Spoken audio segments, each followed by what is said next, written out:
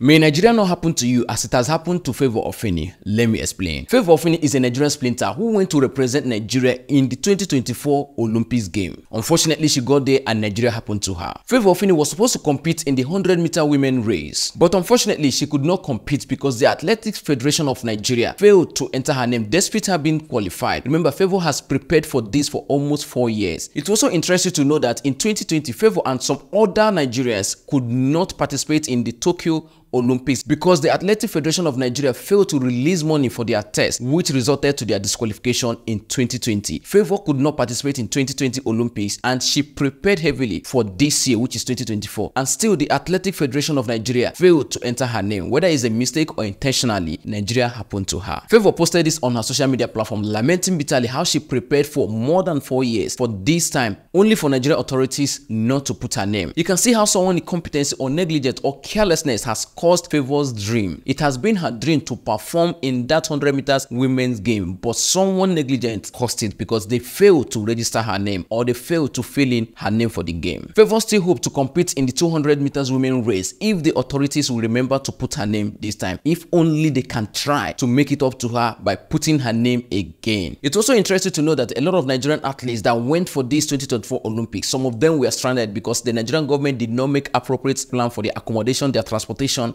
and their welfare. After experiencing all this, how do you expect Nigeria at least to represent Nigeria next time? If not you, you go come out. This is one of the reasons why some of Nigerian talented people change their nationality when they have the opportunity. They rather represent another country that will appreciate them or take care of them when they go out there than to represent Nigeria that doesn't give a dime. It's also interesting to know that there's been a report in the past that some authorities, some Nigerian authorities that are supposed to take care of those people out there were allegedly embezzling the money that is meant to use to take care of them. Even though Nigerians go out there with high energy, good spirit, celebrating with their green and white color, filled with a lot of energy, but still the authorities still bring down their energy by not doing what they're supposed to do. Anyway, this is a good day to tell you, may Nigeria not happen to you. If you're in Nigeria, remember, may Nigeria not happen to you. And somebody will tell me not to protest. Why? Don't you like a good governance? In case you don't like, don't forget to. Enjoy your weekend. Thank you.